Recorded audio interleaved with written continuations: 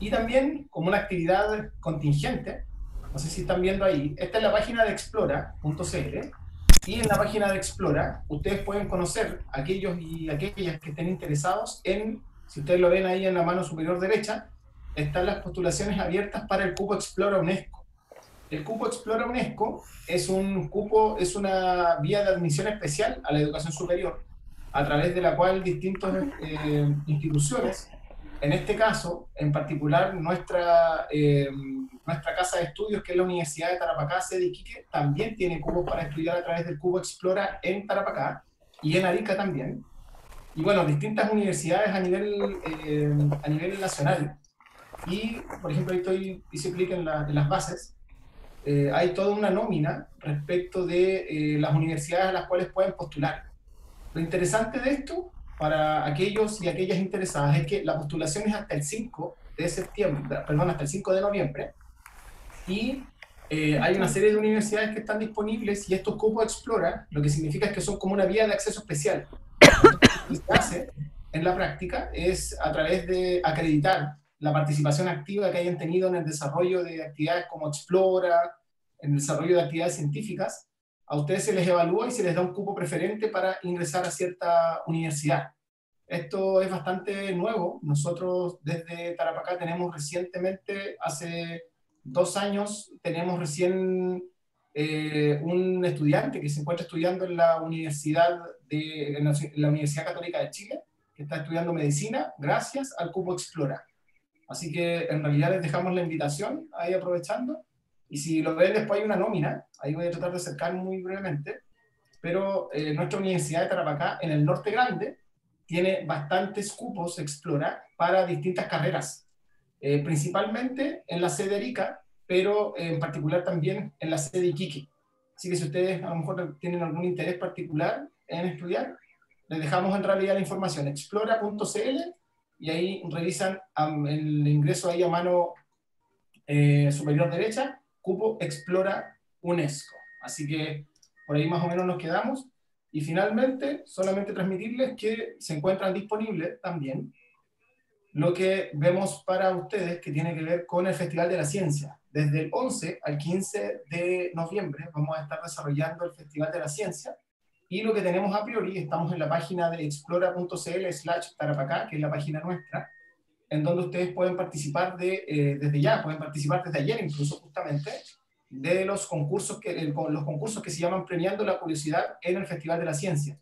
Si ustedes hacen clic en el banner, pueden acceder a eh, este concurso que se llama Premiando la Curiosidad en el Festival de la Ciencia, y son tres concursos, el concurso A, B y C, si quieren conocer todos los detalles de qué se tratan los concursos, cómo participar y todo, ingresen a nuestro sitio web explora.cl slash tarapacá, en donde también van a poder encontrar las bases correspondientes a cada una de las actividades. Así que ahí están las bases también, eh, se puede acceder también como un documento en PDF y pueden revisar en detalle a qué corresponde, si pueden participar. Es principalmente para estudiantes, así que cuenten con la participación activa y la disposición para participar en estos espacios que estamos creando para ustedes.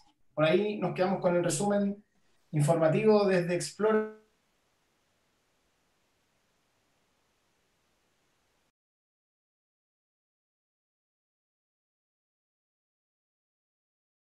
Todos y todas, o falta, esperamos. Sí, no, ya estamos en la hora, en honor al tiempo y a la puntualidad. Vamos a partir, así que procedamos domingo. Ya, un segundo para cargar el archivo. Está, está más encima de Álvaro, está dos veces. Álvaro está clonado en la en la videollamada. ¿Verdad? Las herramientas tecnológicas. Eh, con tal de que no tenga, más, no tenga doble personalidad nomás, estamos, estamos bien. No, no se preocupe por eso. Hay una sola personalidad nomás, así que todo bien. Ya. Bueno, eh, buenas tardes a todos y todas. Vamos a partir entonces de lleno para eh, vincularnos directamente a lo que estamos. Eh, hoy día en particular es, un, es la culminación de un proceso, en cierta medida, porque tiene que ver con el taller de metodologías de la investigación, por cuanto a nombre de la Universidad de Tarapacá, de Iquique y su programa Explora, de Tarapacá, del Ministerio de Ciencia, Tecnología, Conocimiento e Innovación, le damos la bienvenida a este espacio que hemos denominado como este tercer taller de metodologías de la investigación. Eh, hoy día tenemos un invitado especial que se los voy a estar dando a conocer, pero antes de partir siempre el saludo de nuestra directora para motivarnos eh, en esta jornada. Directora Valesca, un saludo para todos nuestros estudiantes de enseñanza media en esta oportunidad. Gracias, Domingo. Bueno, brevemente, ¿cierto? En, función del tiempo que tenemos por delante, eh, agradecerles a cada uno de ustedes la permanencia, estudiantes, profesores, eh, asesores también y equipo Explora, porque hemos llevado a cabo eh, una planificación bien sistematizada, hemos ido cumpliendo varios hitos en este proceso y hoy estamos muy contentos porque estamos ya finalizando una primera etapa que tiene relación con la, con la apropiación, ¿cierto? De, de varias herramientas que, que, nos van a permitir avanzar en este proceso, en estos trabajos de investigación, en, en, sus propuestas de investigación escolar, en el marco de investigación e innovación escolar año 2020. Así que eso básicamente agradecerles el compromiso, el trabajo a cada uno de los profesores, formadores, mediadores en, esta etapa y a cada uno de los estudiantes por su responsable cierto compromiso, por su permanencia, por su asistencia. Hay harto trabajo, esto es recién la finalización de una etapa, así que van a tener que ir trabajando en, la plataforma, van a ir siendo asesorados eh, a través de, de, asesores cierto, de científicos que, que desde Explora los van a acompañar en cada una de, sus etapas, en, cada uno de los proyectos de investigación. Así que estamos muy contentos de poder eh, avanzar, avanzar y que la apropiación ¿cierto? de los beneficios de la ciencia, de la tecnología, el conocimiento y la innovación llegue a cada uno, a cada una de ustedes. Así que eso por mi parte, un abrazo grande. Está presente también, aprovecho de saludar a la profesora eh, académica de la Universidad Tarapacá de Iquique, eh, Macarena Herrera. Así que es una de las asesoras eh, que va a ir apoyando y trabajando junto con ustedes.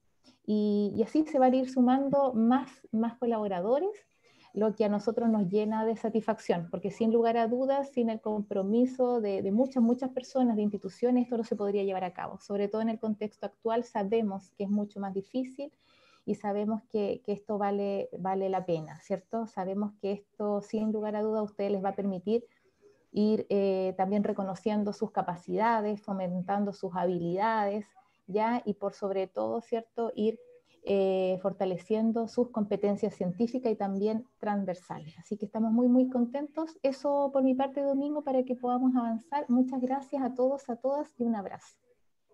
Muchas gracias, directora. Bueno, y aprovechamos eh, rápidamente saludar, bueno, retirando el saludo a la profesora Macarena, asesora también de, de innovación e investigación, de investigación e innovación escolar. Y en esta oportunidad eh, nos encontramos con un invitado especial. Eh, hablamos de eh, el profesor Pablo Ramírez, profesor de química y física, quien se encuentra terminando su magíster en educación y tiene amplia experiencia en proyectos de física y astronomía y, por supuesto, investigación en general. Entonces, también ha desarrollado distintos proyectos, así que sin más, y con el ánimo de poder partir de lleno a esta eh, tercera clase, denominada Uso de software y aplicaciones prácticas en investigación y educación. Así que los dejamos eh, con el profesor Pablo Ramírez. Antes, antes, antes, comentarles que está eh, también Iris Scovins, que va a estar a cargo de los comentarios, también que ustedes están dejando por el chat. Y por supuesto, si quieren intervenir y todo, lo pueden hacer levantando la manito ahí o tomando eh, haciéndose presentes para, poder, para que nuestro relator eh, responda a sus inquietudes. Ahora sí, Pablo, lo dejamos a cargo de la sesión del día de hoy. Hola, buenas tardes a todas, a todos. Bienvenidos a esta charla, taller, como se puede llamar. Yo desde mi experiencia voy a hablar desde lo que yo he trabajado y desde lo que creo les puede ayudar en esta investigación. ¿ya? En esta investigación que por lo que he visto, son bastante diversas, desde lo, lo que es del área de las ciencias sociales hasta las ciencias naturales, tecnología e innovación. Así que compartimos nomás, Álvaro.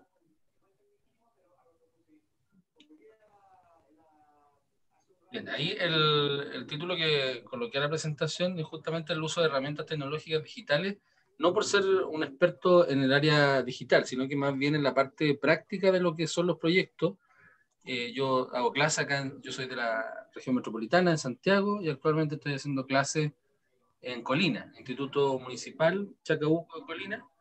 Y soy profesor de física y química, pero también estudio física tal, soy licenciado en física, entonces de alguna forma he ido trabajando con la investigación y proyectos de todo punto de vista, desde la ciencia propiamente tal hasta la parte educativa en los proyectos escolares. Eh, siguiente, Álvaro. Em, comienzo también, para que ustedes conozcan, por qué yo les estoy dando este taller y por qué apareció mi nombre en esta instancia. Eh, disculpe, ¿hay idea mía escucho a alguien ruido? No sé si alguien tiene el micrófono abierto. Vamos a ver eso al tiro ya. Ya. Eh, bueno, el 2007 fue mi primer año de, de, profesor, por eso aparece una foto tan joven mía, donde esa foto es particularmente importante porque son un grupo de alumnos humanistas que en ese entonces quería participar en la feria científica. Entonces, de alguna forma me di cuenta desde mi primer año de siendo profesor de que había una necesidad de los alumnos a no estar constantemente escribiendo cosas, sino que también haciendo cosas. Ya el año 2007, 2008 en ese colegio, luego el 2009, eh, trabajé con los biólogos, con los biólogos del, del un colegio en la Florida, donde fuimos al acuario, que ahora ya no existe lamentablemente, en las dependencias del MIM.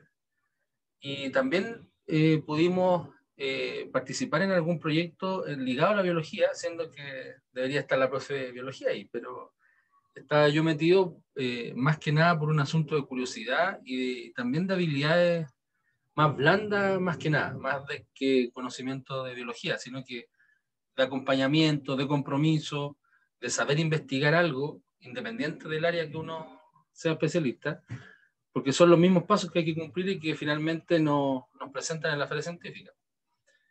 Y ya la siguiente, ya del 2010 en adelante, ya potencié eso en mi trabajo pedagógico, siendo muy eh, activo en varias, en varias participaciones, donde en la foto de arriba aparece en, que estoy trabajando en el laboratorio, ya es un grupo de investigación, estamos investigando algo en particular en el laboratorio con nuestras cotonas, con nuestros delantales más formales.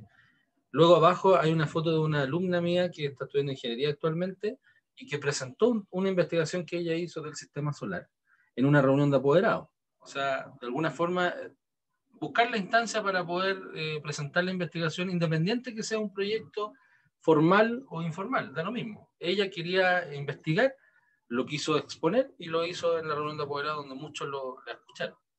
Finalmente eh, pudimos ir con un grupo a Alma, donde vimos concretamente cómo funcionaban las antenas, cómo funcionaban la radio los radiotelescopios, que en su momento fue un boom, porque hasta el momento sigue siendo el radiotelescopio más grande del mundo, y conocer cómo funcionar, cómo funcionaba, fue una experiencia inolvidable. Hasta ahora eso fue hace cinco años y todavía no se lo olvida claramente a todos los estudiantes.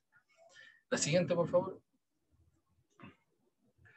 Luego de eso me di cuenta también de que no solamente se podía trabajar con un grupo pequeño, sino que también con hartos. Eh, de hecho, actualmente trabajo con muchos alumnos, tengo más de 500 alumnos a cargo, colegio municipal de 45 alumnos cada uno, tengo 15 cursos. Y eso hace, obliga al profesor, yo sé que algunos colegas también han vivido esta situación, donde al tener muchos alumnos uno no puede ir eligiendo, no puede ir escogiendo solamente a los que les gusta, a lo mejor muchos quieren participar y no se atreven.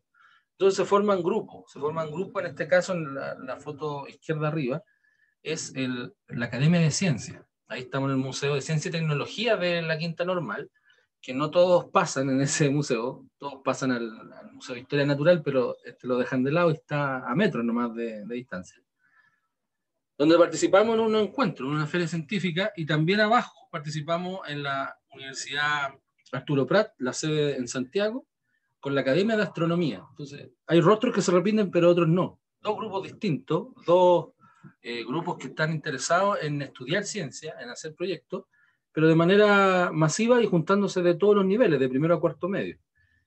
Ya al lado derecho, ustedes pueden ver, se repiten algunos rostros porque ya se, al hacer ferias científicas o al participar en otros colegios, son esos alumnos los que tienen esta experiencia con, que tienen la capacidad para poder presentar a otros, a desconocidos, porque saben el, el proceso que han, que han tenido que pasar. Desde la, desde la búsqueda de una incógnita hasta todo lo que han tenido que estudiar para llegar a, a algún resultado. Entonces, ahí hay fotos de, de, algunos grupos míos que han participado en ferias internas y externas.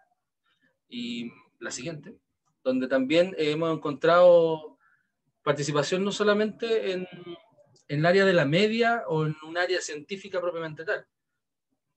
La, la siguiente, Álvaro. Si se fijan, también eh, he trabajado con niños más pequeños, niños de la básica. También en un taller de astronomía nos ganamos ahí un, un proyecto para poder comprar telescopios. El, si se fijan, ahí hay una exposición. Uno podría exponer sus trabajos sin necesidad de estar ahí presente y los, los curiosos se van a acercar a ver qué es lo que, qué es. Lo que es. Eh, abajo también en una reunión de apoderados y en una exposición de deporte, agarramos un espacio y metimos al taller de astronomía para explicar sobre el sistema solar, con esa propia motivación que tenemos los profesores y que también las profesoras ustedes tienen, pero también la motivación de ustedes mismos. Uno cuando enseña aprende dos veces, entonces cuando uno tiene la capacidad de explicar, eh, uno también tiene la capacidad de aprender cada vez que uno repite lo que está diciendo. Entonces cada vez lo mejora, lo mejora y eso les sirve a ustedes para alguna presentación a futuro. En la foto de abajo, eh, ustedes pueden ver que hay apoderados, hay niños chicos, niños grandes. Ahí hicimos, eh, con una profesora, hicimos una presentación en donde lanzamos cohetes. Le enseñamos a hacer cohetes de agua y los lanzamos el mismo día y se quedaron hasta la noche eh, los apoderados con su, con su eh, hijo e hija. Y, y, fue bien entretenido porque de alguna forma nadie es especialista en astronomía en ese grupo, pero con solo el hecho de lanzar un cohete ya les quedó la duda. ¿Por qué funcionaba? ¿Puedo mejorarlo? Lo puedo hacer, incluso hasta los papás. Los papás tenían esa duda. Pero hay que hacerlo, hay que participar. Entonces, eh, por eso estoy acá y por eso mi experiencia también eh, quizás les pueda ayudar a, su trabajo. La siguiente, por favor. Dentro de todo este trabajo, de todo este proceso que hacemos los profesores, igual que ustedes, para acompañarlos en esta actividad y estar aquí eh, escuchando las charlas y los talleres, han, hay resultados, han habido resultados. Los resultados más importantes quizás para esta charla son los que coloqué acá, en donde eh, un alumno mío ganó la categoría básica de la Olimpiada Nacional de Astronomía y Astronáutica del 2016. Ahora actualmente está saliendo de cuarto medio el Gonzalo, en ese entonces estaba en octavo, y le ganamos al Instituto Nacional. O sea, acá en Santiago es súper difícil eh, competir en las ferias, porque están, hay millones de personas, están los colegios eh, más bacanes de, de, Chile prácticamente, y aquí hay mucha competencia. Entonces, llegar a tener esa, esa distinción igual fue bastante, eh, eh, o sea, nos produjo una alegría tremenda, porque no somos un colegio particular subvencionado, chiquitito, que le va a ganar a otro más grande. Entonces, netamente constancia, trabajo. También participamos en, el, en los debates de Explora en Santiago. Como dice ahí, son debates científicos escolares donde el profesor de física, ¿qué es lo que hace? El profesor de física tiene que trabajar con otro profesor. La profesora que está ahí al lado mío en la foto es la profesora de historia. Entonces, entre los dos, solamente con la motivación de participar, eh, quisimos eh, aventurarnos a, esta, a este concurso por primera vez y llegamos a las finales. O sea, llegamos a cuarto lugar, más motivación que conocimiento. Motivación de querer aprender, de querer investigar y que el proyecto, donde los alumnos que están ahí presentando, los tres alumnos, uno estudia ingeniería, la otra medicina y la otra odontología. Entonces, da lo mismo lo que quieras estudiar. Mientras tengan la curiosidad, la curiosidad de investigar, uno, puede hablar de cualquier tema. Eso es la gracia de concursar en los debates científicos. Y también nos sirve a nosotros los profesores. Mucho para aprender. La siguiente, por favor. Eh, todos los años en la Universidad de Concepción eh, este año parece que lo hizo en forma online, hacía el Congreso de Astronomía Escolar. Congreso de Astronomía Escolar donde se presentan proyectos astronómicos. Y a nosotros nos invitaron porque nosotros éramos uno de los pocos colegios en Santiago que estábamos haciendo investigación astronómica. Y en ese momento nosotros estábamos presentando un proyecto de astrobiología. Y ahí justamente de los cuatro alumnos, dos son físicos, dos son biólogos. O sea, estaban en distintos electivos y se juntaron para poder hacer este estudio y es lo que la lleva ahora en astronomía. Buscar agua, buscar seres, buscar océanos en, en nuestro sistema solar y más allá. Y eso eh, nos posibilitó viajar de Santiago, ir a otro lugar y representar a nuestro colegio, a nuestra institución en esa instancia. Eh, también me di cuenta de que no solamente los alumnos que querían estudiar carreras científicas podían tener la capacidad de investigar, de investigar cosas científicas, de, de investigar proyectos y problemas científicos, sino que todo el curso. Y por eso se me ocurrió la idea de crear un simposio de física en el colegio, ya como materia en primero medio, como es el primer año que se enfrentan a la asignatura de física, eh, ellos exponen de alguna forma el simposio, una cosa formal, una cosa ya más producida, donde se jugaba la, la nota coeficiente 2. Entonces, en vez de hacerle una prueba, ellos hacían una presentación que investigaban desde el segundo semestre, o sea, tenían cuatro meses para investigar algo que les tocaba al azar con personas al azar. Entonces eso les producía una especie de eh, obligación buena, obligación para, para poder trabajar con el otro y ver las habilidades que tenemos en común y hacer un proyecto. Ya independiente si me cae bien, me cae mal, eso da lo mismo. Lo importante es que lo mejor que tenemos nosotros lo podemos juntar en un grupo y exponer en un simposio de física. Física, que es la materia que muchos tienen miedo o que dicen que es muy difícil. Bueno, ahí se dieron cuenta que no era tan difícil. La siguiente, por favor.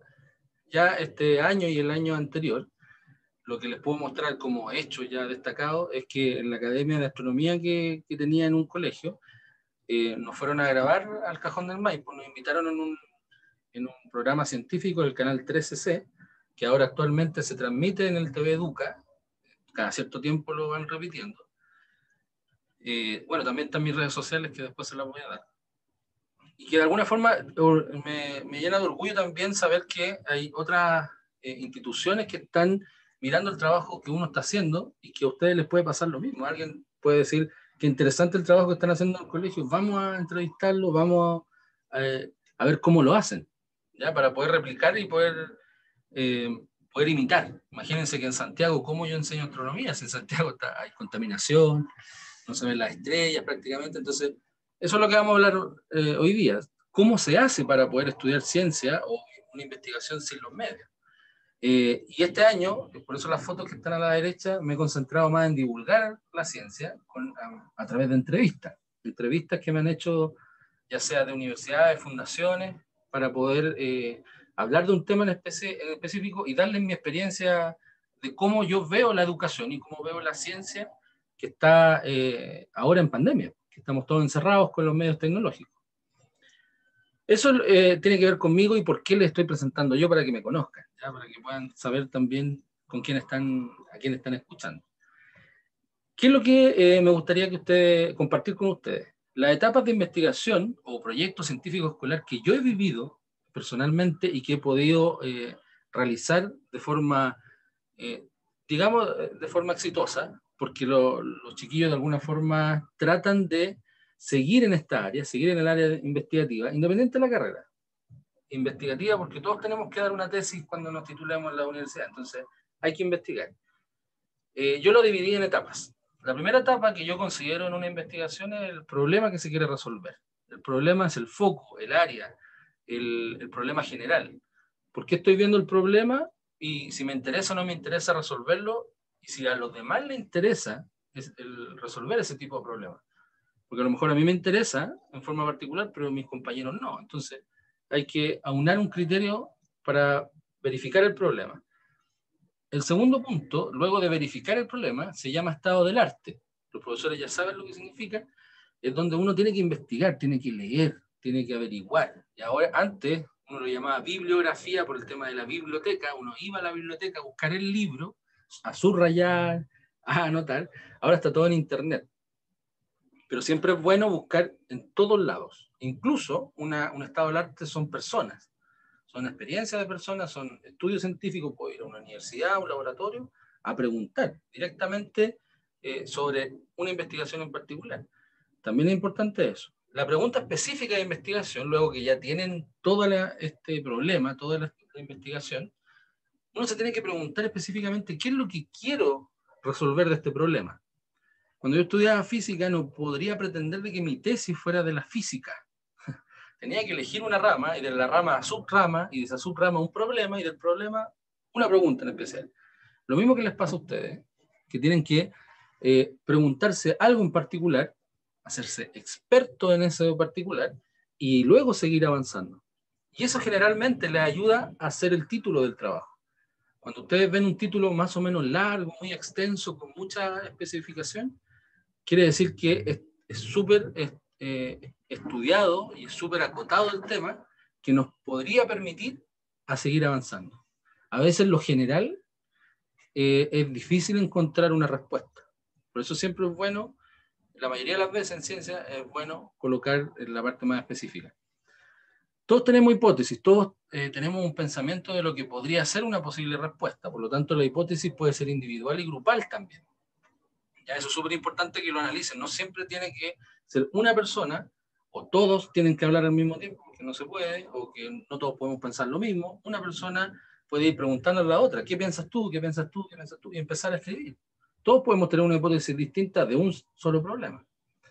Luego, en el quinto paso, ya eh, que tiene un color diferente porque es donde nos vamos a enfocar hoy día, el diseño experimental, que ya lo vamos a explicar más adelante, pero es como el modelo general de lo que tenemos que construir para nuestra investigación. No se trata de ir al laboratorio. El diseño experimental puede ser eh, el lugar hasta ficticio las mismas reuniones por Zoom online, es un diseño experimental. El 6, el punto 6, es la experimentación ya más concreta, es decir, la tabla de la toma de datos específicos. Sea, voy, muestreo, hago el muestreo, hago la encuesta, hago la entrevista, em, veo el, voy al laboratorio, coloco los elementos químicos. Eso es la experimentación. Es una parte del diseño experimental. Y para eso también vamos a hablar sobre algunas aplicaciones y software que nos pueden ayudar en caso de no tener los materiales. El paso 7, después de haber pasado todo esto, es el análisis de los resultados, que también puede ser individual o grupal, pero ahí es donde se, donde se necesita más experticia de los que son más buenos para la matemática, para hacer gráficos, para, y donde también se generan este, este uso de tecnología necesaria para ahorrar tiempo. ¿ya? Ahí se, se necesita el análisis de los resultados. En la 8, el punto 8, son las conclusiones finales y la posible continuidad del proyecto. En ciencia, yo me atrevería a decir que casi el 100% de todos los estudios que nosotros hacemos, tanto científicos como profesores, eh, se pueden seguir estudiando, se pueden continuar. O sea, uno no le puede dar un punto final, ya, hasta aquí llegó y no se estudia más. Incluso hasta los premios Nobel, sus investigaciones siguen en el tiempo. Entonces no, no pretendamos de que nuestro estudio tiene un principio, un final y se acabó. Y luego viene la exposición al público, que eso es relativo, puede ser presencial, online, por Zoom, eh, a través de un tríptico, a través de un, de un, informe o de un video grabado, que es más o menos lo que ustedes van a trabajar este año. ¿Ya? Eso es la exposición al público. Eh, así es. Ese es mi emoji, que lo voy a eh, utilizar varias veces para que también eh, vean los profesores que es un recurso educativo también que nos sirve.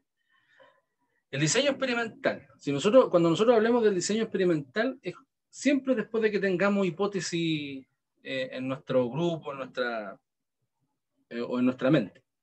Lo que se busca es testearla, o sea, es decir, cuáles son los datos empíricos, los que realmente se observan para poder tener algún tipo de respuesta. Idealmente, la experiencia más rigurosa idealmente que eso casi todos los, la investigación y todos los asesores científicos se lo recomiendan, es que haya muchas repeticiones de la variable. Ustedes quieran, ya sea de encuesta, entrevista, de un experimento. Pero mientras más eh, cantidad de veces tengan algo medido, más confiable es la muestra. Y también hay estudios que son más teóricos, como el caso de la astronomía, que más experimental habría que siempre asociarla con otra rama la astroquímica, astrofísica, astrobiología, pero la astronomía en sí es una rama muy teórica, entonces a veces eh, se necesita más eh, teoría eh, escrita, teoría, no tanto tabla de datos porque no se pueden medir, pero sí se puede hacer, igual, igual se puede estudiar. Por lo tanto, mientras más variables nosotros tengamos, todas esas variables las tenemos que estudiar en nuestro diseño experimental y también tenemos que tener claro cuál es la variable control, los tiempos, los materiales, el espacio físico, los responsables. sea, todo lo que les coloco ahí es para que, es como consejo mío, para que profesores, profesoras y estudiantes puedan tener un diseño experimental más completo, más ordenado. Entonces, si a mí me dicen, por ejemplo, que tengo una investigación que las tengo aquí escritas, de ciencias sociales, por ejemplo, eh, que habla del estrés y la calidad de vida de los estudiantes. Entonces, cuando a mí me dicen, ¿qué diseño experimental tengo? Si mi experimento es una persona, tu diseño experimental puede ser, ¿cómo vas a medir eso? ¿Qué, ¿Qué, te vas a juntar con quién para poder tener una respuesta? ¿Vas a hacer entrevistas en vivo, eh, encuesta, o lo vas a tirar en un formato Google y que la gente vaya respondiendo en las redes sociales? Es un diseño experimental. ¿Ya? O sea, no, no, necesariamente tiene que ser algo material, algo, algo físico. Por eso es importante el apoyo de un asesor, una asesora científica. Eso es súper importante porque los científicos tenemos una mentalidad distinta quizás eh, a otros profesionales porque sabemos que para llegar a una respuesta se necesitan pasos. Y estos pasos conllevan el diseño experimental, sea cual sea, sea el estudio. En la, parte, en la experimentación concreta, que ustedes eh, imagino que están haciendo, que van a hacer en algún tiempo en sus investigaciones, eh, se refiere exclusivamente a lo que es la toma de datos. ¿ya? La experimentación es cuando yo voy a tomar datos. ¿Lo puedo hacer frente a una pantalla? Perfectamente, no hay problema, pero ya estoy tomando los datos. ¿Lo puedo hacer frente a las redes sociales? También. Lo importante es que se especifique quién va a tomar los datos, cuántos son los que vamos a tomar, y que se utilice una bitácora de trabajo. El proyecto de la investigación tiene muchos procesos, por lo tanto, ojalá que ustedes, el, el, trabajo que, que, realicen ustedes, y para eso está el profesor, sea de la forma más equitativa posible, ¿ya? que no sea el trabajo de una persona y que los demás solamente repitan lo que la persona hace. Por eso es importante que cada uno tenga una bitácora de trabajo. Yo sé que esto a lo mejor no lo ocupa mucho porque generalmente uno ocupa solo la mente para acordarse de cosas. Pero a mí me ha pasado, yo sé que a lo mejor ustedes también, a mí me ha pasado que yo me junto un día martes y me quiero juntar todos los martes para ver el, el, experimento, la investigación. Y me pasa que de un martes a otro estoy hablando lo mismo. Y después viene el tercer martes y, y sigo hablando de lo mismo, no avanzo. La bitácora de trabajo sirve para decir, ya, esto lo hablamos, lo concretamos, seguimos y avanzamos. Siempre la bitácora de trabajo nos va a servir para avanzar. Por eso yo les recomiendo que en la bitácora ustedes siempre coloquen la fecha, la hora, el dato que están midiendo, si tuvieron resultados, tablas, gráficos. Ahora incluso la bitácora puede ser en forma online. Ustedes en su celular pueden sacarle fotos a algo y tener una carpetita que diga bitácora. Entonces ahí tienen todo el material y coloquen la fecha. No se les olvide colocar la fecha. Esta foto la saqué tal día, tal hora. Eso es súper importante para que después su investigación sea más fuerte, sea más contundente ustedes solamente dicen, eh, tomamos 100 datos, listo, y no especifican hora, día, a quiénes, eso eh, no va a tener tanta validez como la especificación. ¿ya? Eso siempre se lo recomiendo. Para eso, siguiente, por favor. Para eso, eh, lo primero que les voy a, a, mostrar, que es lo que yo he ocupado, son las simulaciones en base a los estudios o alguna investigación. Cuando a mí me ha tocado investigar algo científico, netamente tal, ya sea física, química, matemática, e incluso biología, eh, se ocupan las simulaciones PET. Las simulaciones PET, como aparece ahí, PHET, es una, eh, es una página gratuita. Ahí está el link que ustedes lo pueden colocar, una página gratuita donde uno encuentra simulaciones de laboratorio que nos ayudan eh, a poder, como dice la palabra, simular como si tuviéramos el laboratorio. Y eso se creó en base a que muchas escuelas, muchos lugares del mundo, no solamente de Chile, no tienen laboratorio. Entonces la Universidad eh, de Colorado eh, se dio cuenta de esto y creó esta página hace mucho tiempo. Y ahora se, se ha estado actualizando y son simulaciones gratuitas. Por eso yo les quería mostrar una simulación ahora de forma rápida, cuando uno se mete a la página. Entonces voy a compartir pantalla yo. Ahí sí. Cuando uno se mete a la página de PET, uno se va a encontrar con, eh, si uno coloca simulaciones, yo coloqué simulaciones, ciencias de la Tierra. Ahí está cargando. Ojalá tenga buen internet, porque si no, vamos a tener problemas. Ahí tenemos 25 eh, simuladores de ciencias de la Tierra.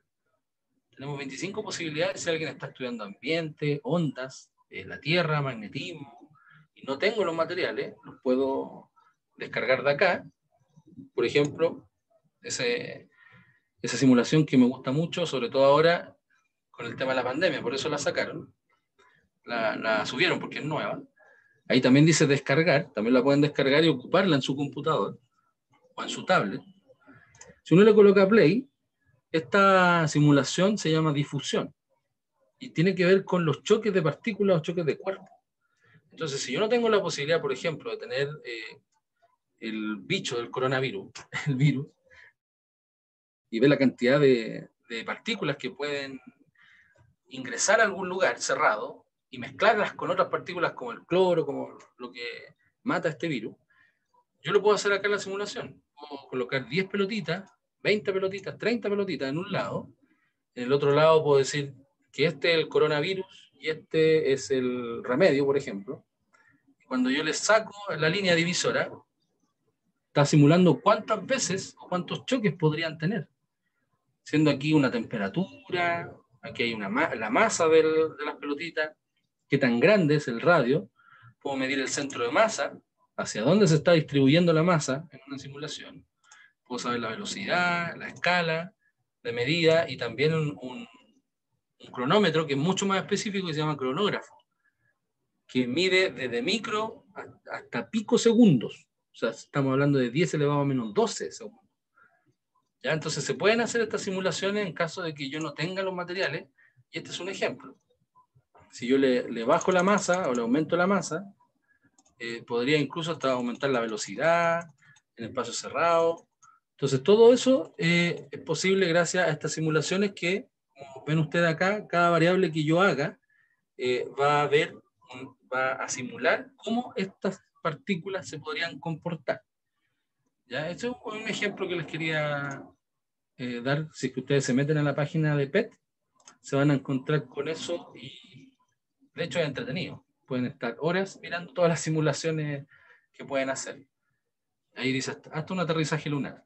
¿Qué tanto es lo que cuesta aterrizar en la luna?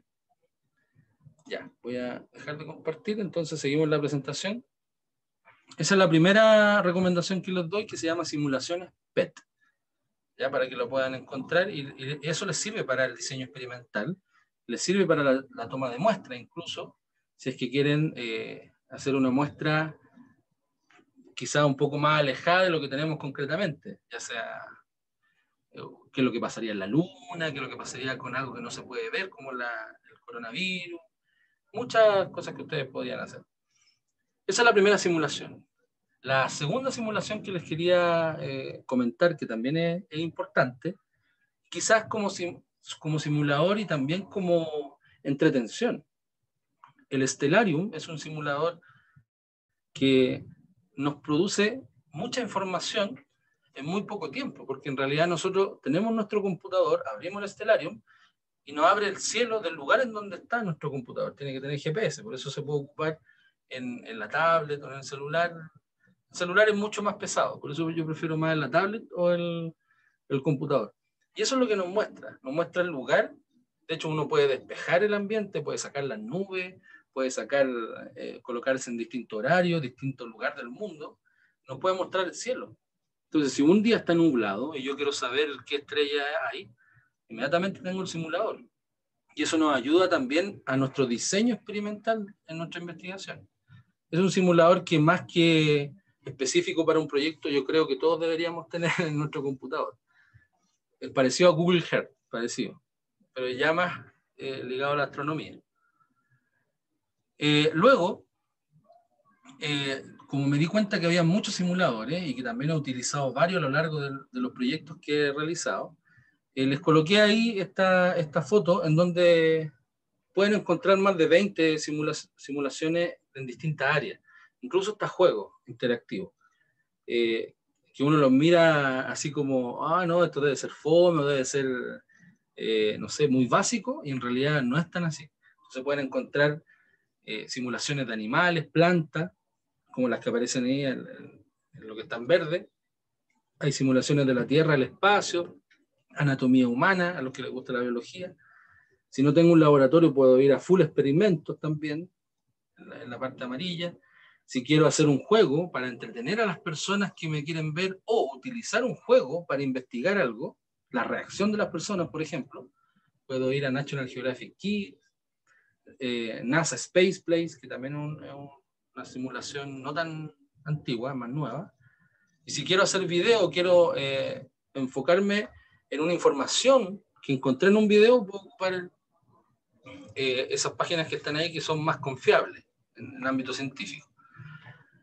Em, eso es lo que tiene que ver con los simuladores que yo he ocupado y que han, han resultado bien, ya que hemos tenido buenos, buenos resultados en el tiempo, en un periodo corto de tiempo.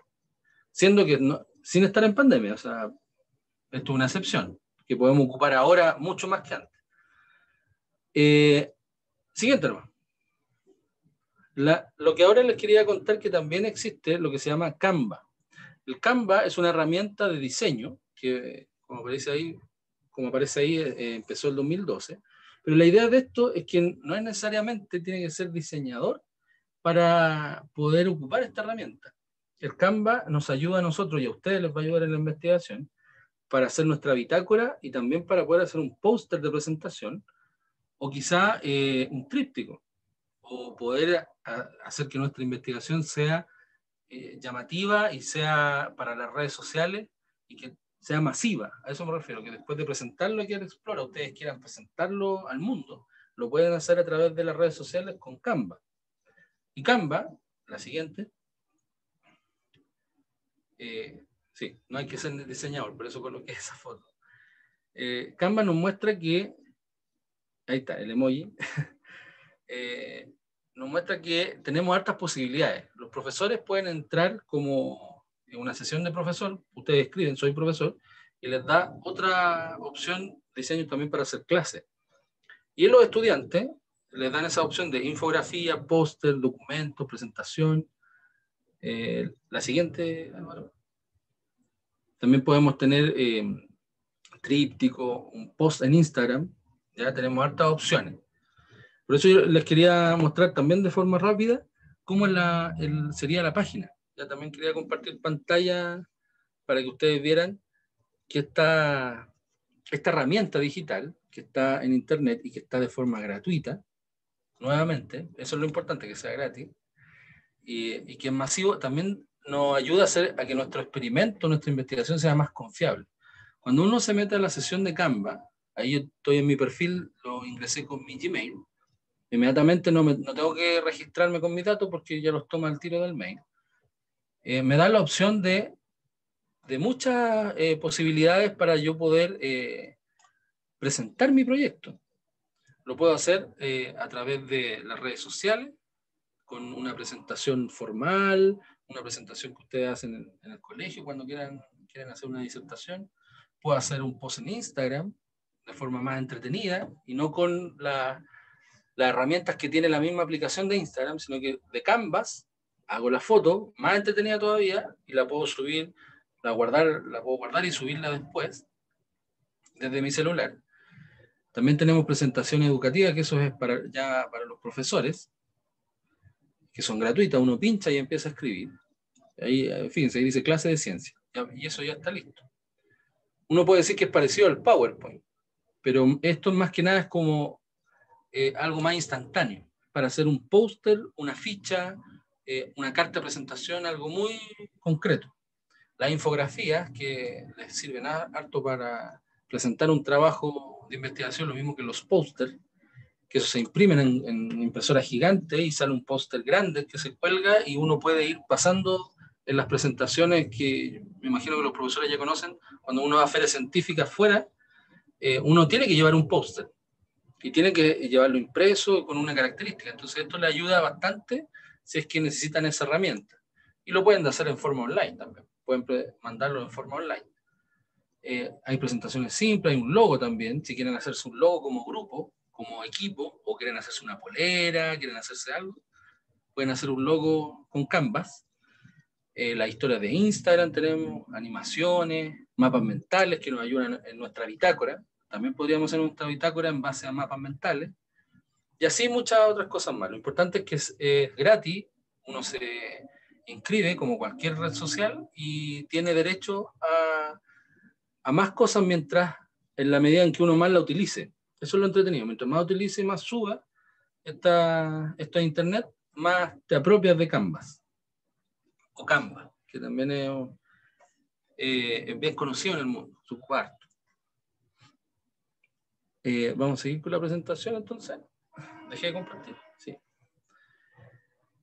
Em, luego de, de, haber hablado de esto que va directamente como al computador, al PC, me gustaría también hablar acerca de eh, lo que generalmente uno ocupaba y que uno sigue ocupando como profe y científico, el Excel, el famoso Excel, que es más antiguo que todo esto de lo que estamos hablando. Pero el Excel es una hoja de cálculo, ya por si no lo sabían, una hoja de cálculo, pero que reemplazó a un software que venía de antes, de los años 80, 90, eh, para que fuera más rápido y más eficiente. Entonces la, la hoja de cálculo cuenta con gráficos, contable, que, que fue más, por eso se llama Microsoft Office, y ahí aparece el Excel, porque era destinado como a la oficina, era destinado como a los datos simples de cualquier estudio. Pero todos hemos utilizado alguna vez Excel, porque necesitamos graficar, porque necesitamos eh, que nuestros datos, ahí, ahí, sale que reemplazó a la versión en el 93 de Lotus 1.3, que era el que más ocupaba antes, ahora se ocupa en todos lados Excel, eh, que nos ayuda a que nuestros datos sean más confiables si es que nos muestran un gráfico, si es que nos muestran una tabla más específica de todo lo que hemos investigado. Si uno lo hace a mano, uno puede decir, oh, se puede haber equivocado. Eh, a lo mejor son más de 100 datos en mucho tiempo que se gasta. Entonces, el Excel es una herramienta fundamental que yo creo que todas las investigaciones que estoy mirando deberían tener, lo menos para explicar eh, el funcionamiento de un gráfico. Siguiente, por favor. El, la gracia que tiene el Excel y, y, lo que yo más he ocupado esta herramienta digital en mis investigaciones son los gráficos, justamente. Es cuando uno coloca los datos y te aparece la opción de qué gráfico es el que tú quieres. Eh, no siempre, como recomendación, no siempre hagan gráficos de línea y de un color. Y si quieren hacer gráficos de línea, hagan más de uno, porque así a, a nosotros nos ayuda a comparar mentalmente, como el, el, de la derecha que están viendo ustedes. Inmediatamente comparamos una situación con otra. Si colocan esos gráficos separados, como que el, le va a costar a la mente tratar de compararlos, y para eso está la herramienta de juntarlo, inmediatamente decir, ah, el azul ganó, el rojo ganó, es más fácil y es más concreto y así ganamos más tiempo. Y va a depender del estudio, que a lo mejor les conviene tener un gráfico de torta, de barra, 3D, va a depender de, del estudio de ustedes que tengan, porque si es poblacional, si es un estudio de población o de encuesta, como la de ciencias sociales, a lo mejor es, eh, es más llamativo y es más eh, concreto hacerlo en gráfico de torta. Cierta cantidad de la población con esta edad piensa esto, la otra piensa esto otro es más concreto y es mucho más fácil explicarlo también. A veces los gráficos se tienden a confundir y, y la gente tiene un, un, un, ¿cómo se llama? Una, un miedo con las matemáticas, un miedo con los gráficos, una fobia, esa es la palabra que estaba buscando, una fobia con las matemáticas que ven un gráfico y se asustan. Entonces la idea es no asustarlo, la idea es eh, llamarle la atención. Y la siguiente, por favor coloqué ese gráfico justamente por lo que está, hemos estado pasando este año, porque el Excel se ocupa desde lo más básico hasta lo más complejo, como es la pandemia. Como datos, unos dos, tres días atrás, Francia, eh, que ocupaba el, el, Excel para sus datos diarios, eh, lo perdió, perdió un documento, perdió la última hoja, si no me equivoco, fue la última hoja de Excel que, la, que se perdió, y por esa pérdida empezaron a tomar decisiones de ampliar cierta abertura y ahora están en rebrote. Así de importante es una toma de datos y así importante es el Excel. Se lo ocupan los países más desarrollados en, este control de la pandemia y es gratuito, nosotros lo podemos ocupar porque es un, software confiable. O sea, yo le voy a colocar datos a, Excel, lo voy a presentar y ya mi estudio es confiable. Si yo digo que lo hice yo solo, todo el gráfico, todos los datos, puede que haya una desconfianza con, con los resultados. Por eso es mejor utilizar esta herramienta, aparte que es mucho más, eh, nos ahorramos mucho tiempo. ¿ya? Entonces lo, los días se pueden ahí estudiar. Para el celular o la tablet, en caso de que nosotros, ya esto lo he ocupado hace unos tiempos atrás, pero en caso de que nosotros estemos ocupando mucho nuestro celular y tengamos buena señal y, y quizás nuestro celular, aparte de ser una herramienta comunicacional, ya es una herramienta científica, estamos todo el día con el celular, podemos descargar aplicaciones que no solamente son juegos, ¿ya? Yo sé que a todos nos gusta jugar de repente, una partida de Clash Royale, una partida de amor, pero bueno, eh, podemos bajar aplicaciones científicas. Una que se utiliza harto es el 3D Brain, que es aprender del cerebro humano. Cuando hay investigaciones psicológicas, investigaciones de comportamiento humano, y uno quiere decir, en la parte del cerebro se encuentra lo que a nosotros nos hace comportarnos de esta manera, y uno muestra esta aplicación, tiene más base. Tiene más base que solamente un dibujo y una flechita. Esto eh, le ayuda a usted también a saber cuáles son las partes del cerebro y específicamente dónde se encuentran. O sea, yo puedo eliminar una parte, cortar el cerebro, modificarlo, y es gratuito. Lo pueden ocupar en el celular o en la tablet, y ya la función full, que es la que está abajo, que ya es mucho más específica, y se paga, eh, bueno, eso lo ocupan los que son biólogos, los médicos, lo ocupan para, incluso si es que tienen dudas. La otra aplicación que yo les recomiendo y que también he usado harto, y para todos y todas, es la calculadora científica. O sea, yo me puedo encontrar arriba de un cerro, me puedo encontrar eh, que estoy tomando muestras en algún lugar lejano y se me olvidó la calculadora. Si ocupo solamente la calculadora del celular, a lo mejor mis cálculos no me van a servir, como el que está ahí en, la imagen. O sea, es una anotación científica por 10 elevado a 123. O sea, eso es la calculadora normal, no me va a dar. Por lo tanto, ustedes bajen la, la calculadora científica como aplicación y van a tener la misma calculadora que, que evitan comprar y evitan tener en un solo instrumento que es el celular. Así que yo creo que todos deberían tener esa aplicación ya bajada en caso de que tengan que analizar los resultados. La siguiente, por favor. Ah, me parece la importancia que tiene la matemática. La matemática eh, en todos los estudios son importantes, todas las tesis. El mapa estelar, para los que quieran estudiar astronomía o quieran tener una aplicación con la astronomía, es una aplicación gratuita que también se ocupa en el celular y en la tablet. Va destinada a esos equipos. En el computador, mejor es Stellarium.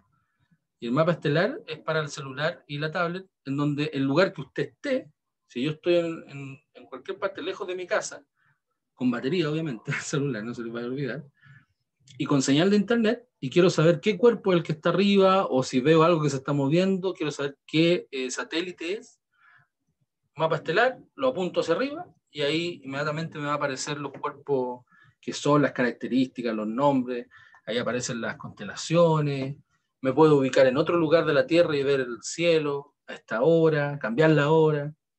Hay muchas cosas que se pueden hacer con una aplicación de astronomía eh, sin la necesidad de estar estudiando de internet todas las fechas a mano. Se puede hacer con, con mapa estelar, sobre todo si un día está nublado y no vemos las estrellas. La siguiente, que hay varios la tienen que usar porque estoy mirando los proyectos, los que son destinados a la biología, a la química, e incluso los de física que tienen que ver con electricidad, tienen que tener siempre en su celular la tabla periódica. La tabla periódica antiguamente, en los tiempos de eh, míos y de sus profesores, no sé, supongo, eh, teníamos que andar con una hojita, una hojita para todos lados, y ubicar la tabla periódica y empezar a, averiguar, dar la vuelta, porque era doble.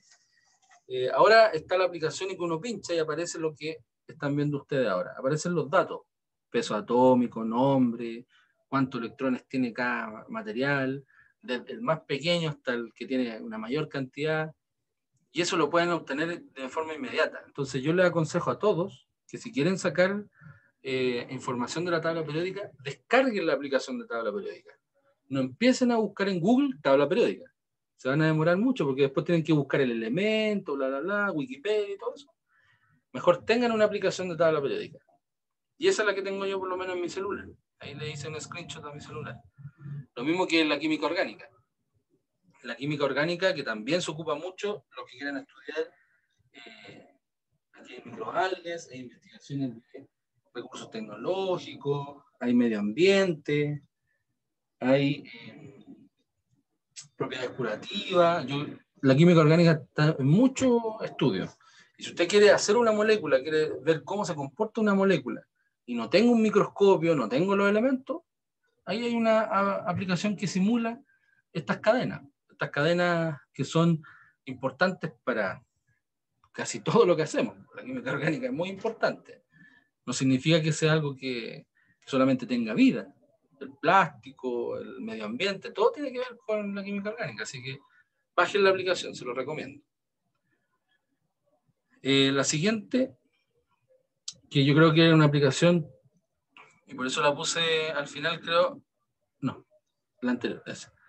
Es la aplicación de la NASA, en donde, independiente de, de, todo lo que escuchemos nosotros en la noticia, o cuando te dicen a ti por las redes sociales, científicos de la NASA descubrieron que, yo prefiero eh, descargar la aplicación NASA, la tengo hace mucho tiempo, y verificar si realmente la NASA dijo eso.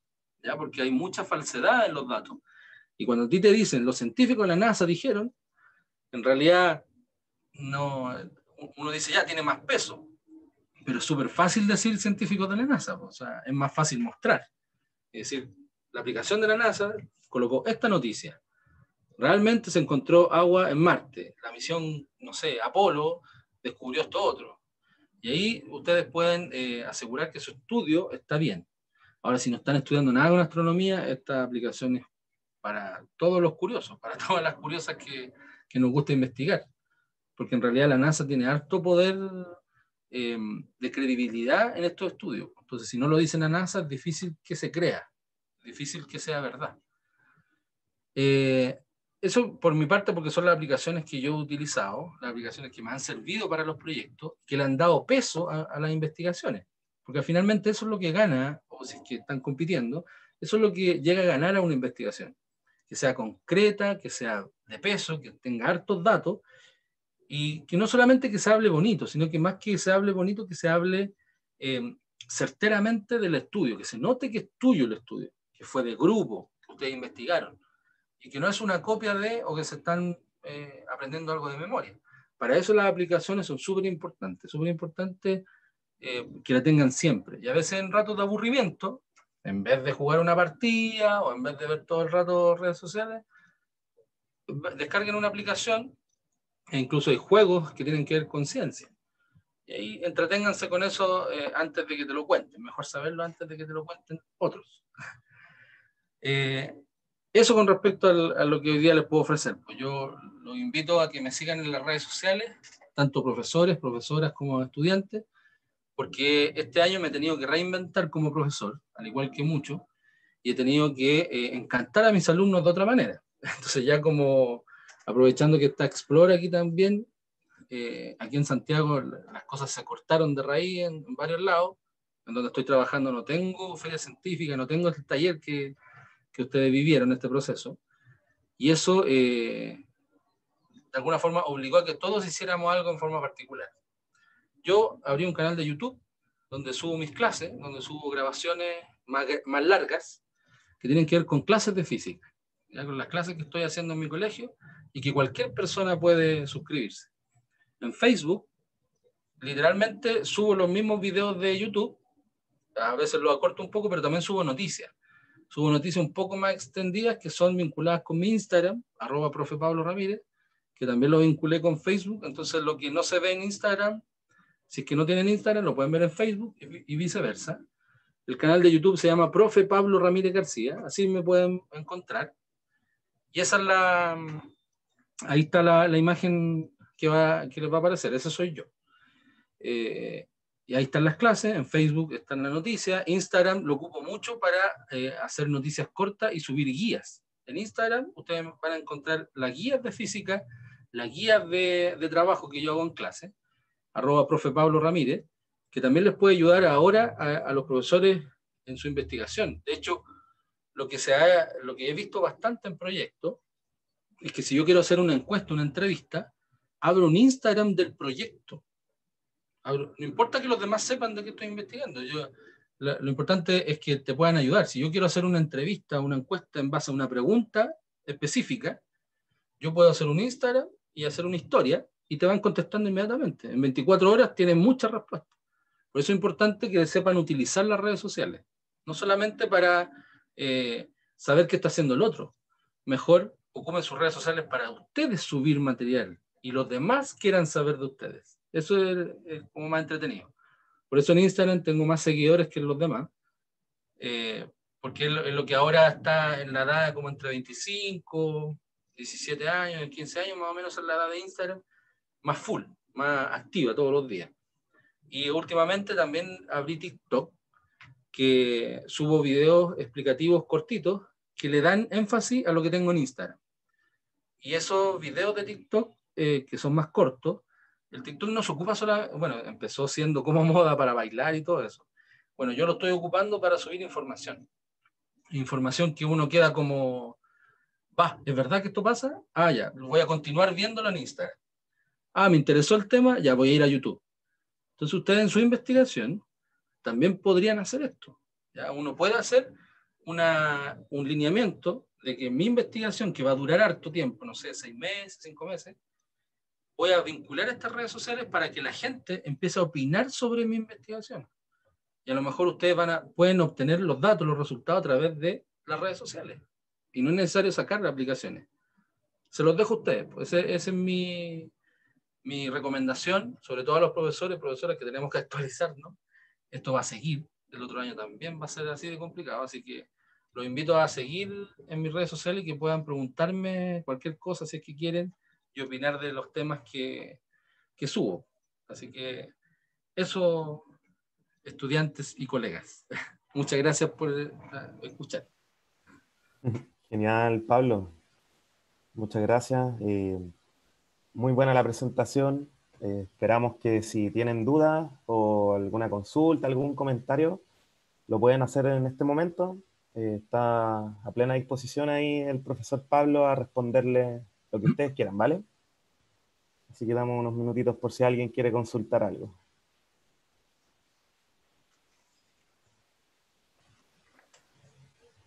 Anda, tímida la gente hoy día. Lo que quieran. ¿Está el grupo de estrés y calidad de vida, por ejemplo? Estrés y calidad de vida. Debiesen estar los niños. Sí, está, que ese grupo, e, esa investigación me llamó la atención porque medir el estrés o medir la calidad de vida se necesitan datos directos de personas que los pueden encontrar en las redes sociales. Subir una pregunta a Instagram que tenga que ver con el estrés y les puede ayudar en la investigación. Ahí tenemos a Berceli Mayorga, creo, si no me equivoco. Ella también participa del proyecto del Colegio Nirvana. Así que, bueno, ella y, sus compañeros eh, van a trabajar con la profesora Macarena Herrera, que se encuentra acá hoy día. Ah, ya. De, manera informal, eh, estamos avisándole a la profesora Macarena que le tocó este club, pero es por el interés que ella demostró en participar en esta actividad. Pero eh, estamos siguiendo el conducto, por eso aún no le avisábamos.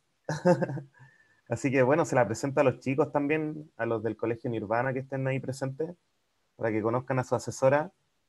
Ella ha manifestado en muchas oportunidades las ganas de participar en el proyecto, así que eh, próximamente van a estar en contacto con ella, ya para que los apoye en su trabajo en el avance de este y también después se van formando lazos, así que se pueden ir aprovechando todas estas instancias. Así como el profesor Pablo nos está comentando que tiene sus redes sociales también. De todas formas, se pueden utilizar estas redes para entablar conversación fuera de estos espacios, ¿cierto? De esta misma reunión. Entonces, si ustedes están interesados en comunicarse en algún tema o sobre algún tema en específico con el profesor Pablo, eh, ahí tienen sus contactos, ¿cierto? Para los estudiantes y los profes, estas clases y las presentaciones quedan en la plataforma. Así que pueden hacer revisión cuando ustedes quieran. ¿Ya? Así. No sé si quieren, tienen alguna duda. Dudas, consultas, sugerencias, chiquillos, adelante. ¿Es ahora o nunca? El profesor Pablo ahí tiene bastante buena disposición para poder explicarnos. Hemos estado escuchando atentamente eh, la, la, sesión del día de hoy, así que si les quedaron algunas inquietudes, no sé, chiquillos, Marco, José, Maite, Gabriel, Fran, Vicente, Anabela, Mario, Bárbara, Daniela, Micha, Zafka, Fabiola. Domingo. También, Álvaro. bueno, eso es bueno, tan claro que no hay dudas. no, siempre quedan dudas. Probablemente no, no, sea, no estén con el ánimo de consultarlas, pero como decíamos recién, pueden acercarse a nosotros a través de las redes sociales que les presentaba Domingo en primera instancia, a las redes sociales del profesor Pablo y hacernos las consultas cuando ustedes quieran, ¿ya? Y por el canal informativo o correo electrónico que ustedes decían elegir para hacernos llegar estas dudas. ¿Vale? Bien, estamos entonces, parece, chiquillos. estamos, sí. Bueno, eh, profesor Pablo, le agradecemos el tiempo y la disposición. Eh, muchas gracias por esta explicativa, e ilustrada y tecnológica, por qué no decirlo, sesión de hoy. La verdad es que hay hartas informaciones que sirven para refrescar la memoria o para eh, ponerlas en aplicación específicamente en torno a la investigación hay varios análisis que, que, hay que hacer, así que bastante interesante por lo menos eh, de mi parte. Así que... Domingo, en el chat tenemos por acá al profesor Gabriel Velázquez, que dice, todo clarito, gracias por la información, muy buena presentación. Y Fabiola Sánchez también da las gracias. Ah, la profesora Macarena igual, también. Ahí dejó su, sus gracias, su apoyo. Lo siento, solo veo esos dos porque si no se dieron cuenta me caí y recién me pude... Sí, estábamos, atentos, se le cayó en internet. Ya te levantamos, Iris, ya está levantadita. Parece que era BTR, Iris, era BTR. Era BTR, me informan por interno que era BTR. BTR, yo soy peor, porque no es el internet. Pero bueno. Ah, aprovechemos a sacar una fotito antes que nos vayamos. Pues, aprovechamos entonces de los que se quieran sumar con las cámaras prendidas para este registro. A lo mejor alguno de los chiquillos está tomando tecito de repente, no sé. no, con el tecito igual, no importa. Oye, buena, buena taza, profesor Pablo. Cuentas son del profe Pablo, ¿ah? Muestra el La taza del profe Pablo está buena. El, esa está buena. A ver la taza, profe. Muéstrala, profe. Podemos hacer salud. Eh. la vamos a censurar la taza. ¡Ay, qué le pasa! Haciendo su salud ahí. solo voy a tirar un comentario a esta altura. No hablemos de censura en exposiciones, por favor, mire que se me trae recuerdos malos, por favor, así que. No. Claro. Mejor hagamos un, un saludo. Un saludo. Oye, dos tazas encima. Ya, chiquillo. Muchísimas gracias. Eh, profesor Mario también por ahí conectado. Bárbara, bueno, a nombre de la Universidad de Tarapacá, sede Iquique, y su programa Explora Tarapacá y el Ministerio de Ciencia, Tecnología, Conocimiento e Innovación, agradecemos el tiempo y la disposición y por supuesto quedamos siempre con todas las vías conectadas como siempre, así que nos pueden seguir, ya saben, por las redes sociales, cualquier duda, consulta, siempre estamos disponibles y eh, los dejamos conectados para que puedan seguirnos en otras actividades que estemos desarrollando también como Explora. Así que muchas gracias y muy buenas tardes a todos y todas. Bien. Muchas gracias. Chao. Gracias, que estén bien. Chao, chao. chao, profe Macarena. Chao, profe, muchas gracias. Chao, gracias. Cuídense. Chao, profe Gabriel. Chao, profe Gabriel, cuídense. Chao, chao, gracias. Usted igual, cuídense. Gracias.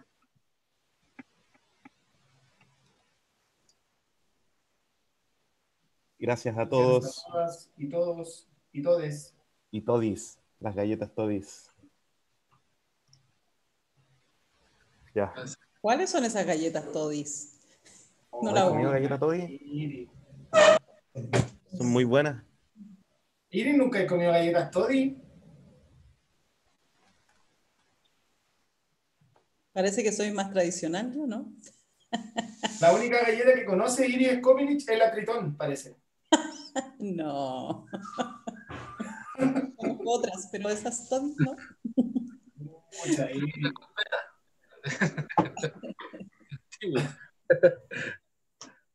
Parece que voy a tener que pedir asesoría al profesor Pablo que me instruya en tecnología. Me estoy quedando en el pasado. No, aquí la- las redes sociales me han servido bastante en la, en la sala, en el aula virtual. Sí. Genial. No hay, excusa, no hay excusa para los alumnos de no tener el material, eso es importante. Sí. No hay excusa. No que-. Chiquillo, Pablo, Sí. eh, muchas gracias. Muy buena la presentación. Eh, te comentamos que el tema de la participación siempre es así en, esto, con- en nuestros talleres. Ah, no, Eh, sí. ahora- Ahora pasa. Sí, pero no, no, no significa na- nada negativo, al contrario, para nosotros después recibimos súper buenas retroalimentaciones de parte de ellos. Así que, a priori, eh, yo te doy las gracias también porque estuvo bueno el taller, interesante. De hecho, ahí yo me anoté un par de cositas que también creo que me sirven. Así que todos sacamos ahí un poquito Bueno, de... Y no, se agradece la disponibilidad, Pablo. A nombre del equipo, te lo decimos cordialmente invitado a otras actividades y, y eres asesor de uno de mis clubes, de mis proyectos, así que al final, ¿cuál, cuál proyecto me, me quedó? al final... Mira, to- no, todavía no te lo voy a decir ya, pero Ya. te lo voy a enviar con... dejar en suspenso. Sí, es de... No, sí te había dicho en todo, en todo caso. Era... Sí, te- sí, sí, te había contado porque te tengo confirmado. Es la investigación del uso de los recursos tecnológicos por parte de los estudiantes del Liceo Bicentenario Minero. Los Ah. ámbitos de- Ya, ahora me acordé. Así que, genial. Ahora me acordé. Oye, Álvaro, te, te encargo nomás eh, el tema de las fichas ¿no? para ver si es que podemos subir los proyectos y evidenciar lo- lo- las presentaciones de los chiquillos, realmente. Sí, Va a estar ahí, sí, Dominguito, estamos en eso. va a estar voy. Ya pues. Ya, pues, Ya, entonces. todo disponible para. Oh, no. No te escuchamos. no escuchamos. Ah, no, les decía que gracias a ustedes también por la consideración y estoy disponible para. Ustedes saben. Muchas gracias, Pablo. Nosotros en todo caso, sí, seguimos en contacto contigo, ¿vale? Ya, pues, ya, pues, muchas gracias, que estén bien. Nos vemos. Domingo. Ah, Gracias, Pablo. Chao. Domingo, no te me vayas, por favor. Al- Álvaro, no te vayas. Hoy, yo ya tengo que irme. chao, chao, chao, chao, Domingo, de mí. Dejen de grabar. El Caco todavía está por ahí. Alejandro, Alejandro, Alejandro, Alejandro. Está tomando tecito el Caco. Domingo, no te olvides de mí, por favor. Compañero, Hoy día, ¿sabéis qué? Ha sido el día de la destrucción. Porque han dado. Bueno, como yo creo que nosotros ya somos todos bomberos, weón. Dile al Alejandro que deje de grabar para que podamos hablar. Y Alvarito, pucha, Mm. tú sabes lo que tenemos que trabajar. Mañana tenemos reunión Para- con la a las dos y media. Tenemos que Ya, mira, yo mañana tengo reunión con la Vale temprano. Así que en ese mismo rato le voy a decir que trabajemos un poco en el Cubo Explora y dejemos un poco de lado lo de cuantificaciones. Porque nos está exigiendo harta pega ahí y sería importante también responderle en, su, en ese momento, ¿cachai? Con ella ahí mismo. Entonces, una consulta. ¿Cuántos, cuántos cupos interesados en Cupo Explora tienen? Así como que que están pidiendo documentos. siete. ¡Siete! Ay, bueno, ¿no? Son hartos, po. entonces buscar información de varios cabros. Entonces no hay que hablar más del Cubo Explora en las actividades, mejor para dejar. Eh, yo no hallo cómo decirte, coyote, corta. Tenemos siete chiquillos ya que están interesados. po. Ya. Entonces hay que buscar esta información y hacer los, los certificados y hay que tenerlos mañana. Ya. Sí, mañana yo me, me pongo las pilas, pero ahora voy a ir a ver el partido de Católica. Así que, Compañera, yo intenté hoy día tratar de generarme el tiempo para poder hacer lo suyo, sin embargo, hoy día fue imposible por varias cuestiones de